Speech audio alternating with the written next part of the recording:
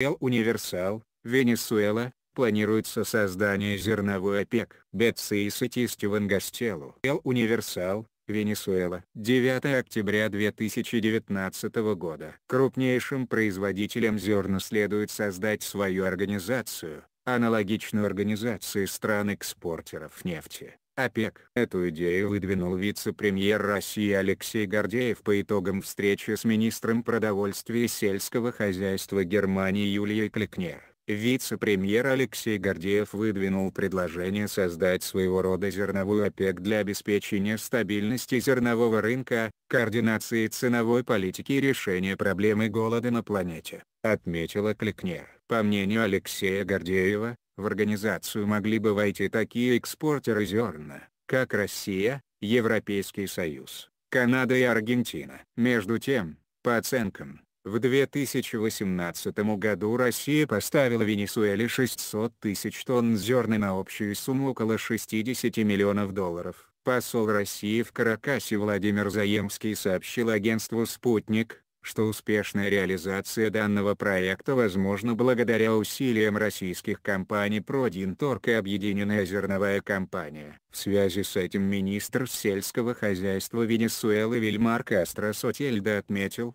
что в 2019 году поставки в Венесуэлу зерна, а также удобрения агрохимикатов для посева зерновых, не прекратятся. Вильмар Кастро Сотельдо сообщил, что будут подписаны соглашения о закупке от 600 до 680 тысяч тонн зерна. Мы обеспечили поставку хлебопекарной пшеницы, жизненно необходимой для венесуэльского народа, подчеркнул он и напомнил, что Россия обеспечивает 60% потребляемой Венесуэлой пшеницы. Материалы на СМИ содержат оценки исключительно зарубежных СМИ и не отражают позицию редакции на СМИ.